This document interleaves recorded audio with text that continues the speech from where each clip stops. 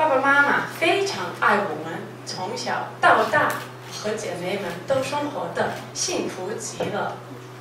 高中毕业以后，我远渡重洋去中国做交换生。刚去的时候，我一句中文都不会说，寄宿家庭的父母也不会说英文，我们简直无法沟通。但他们像家人一样，无微不至的照顾我、帮助我。我寄宿家庭的爸爸常骄傲地对别人说：“这是汉娜，我的高个子女儿。”让我觉得又好笑又感动。这次经历让我深深爱上了中国文化。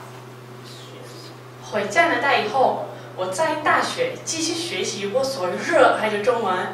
随着中文水平的提高，我对中国文化有了更深的了解，也认识了更多来自中国的朋友。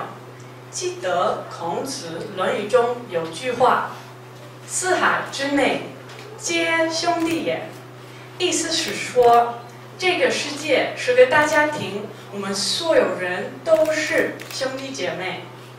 除了学习中文以外，我还特别喜欢打篮球。大家看我的个子，也一定能猜到吧？五年前，我开始做篮球队的义工教练。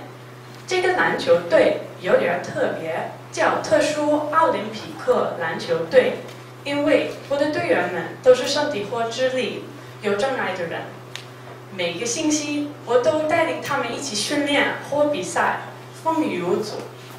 跟队员们的相处，为我开启了全新的世界。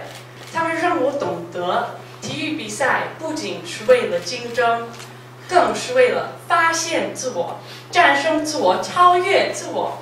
这是一种纯粹的快乐。五年来，我们互相鼓励，互相喝彩，打过无数场比赛，彼此之间的爱也越来越深厚。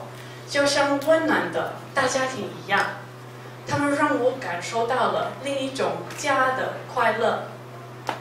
我越来越体会到，无论来自哪里，无论什么国籍或者肤色，只要相亲相爱，我们就是一家人。谢谢大家。